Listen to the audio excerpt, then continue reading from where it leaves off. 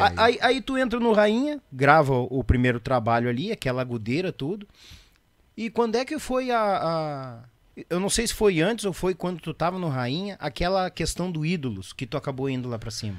Então, ali foi mais ou menos nessa mesma época aí, que nós tocava no, que eu te falei, no Gigante do Vale na sexta e no domingo, né? E aí, cara, é uma é uma época que a gente tá né, meio confuso com a cabeça, que você não sabe bem o que, que é Piazote.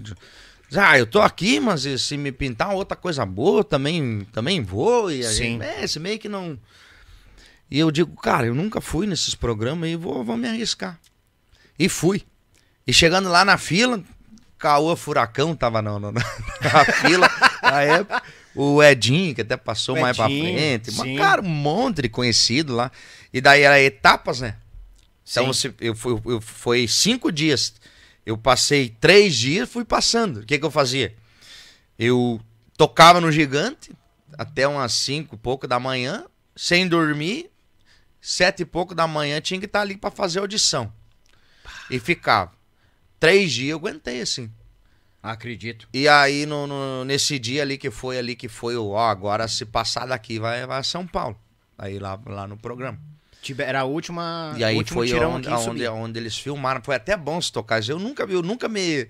Eu nunca me, me defendi sobre esse vídeo, que depois acabou viralizando. A galera Sim, postou eu vi agora antes que, depois, e- né? Isso. Pô, tá louco? Interessante isso aí.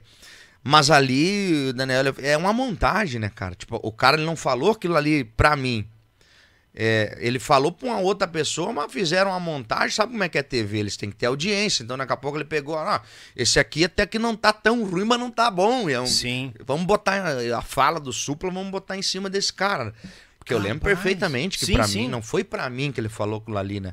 Eu levei, um, um deles me deu sim e dois me deu não. Por isso que eu saí. Mas isso que, que foi falado, aquele coisa lá, não foi espe- especificamente pra mim.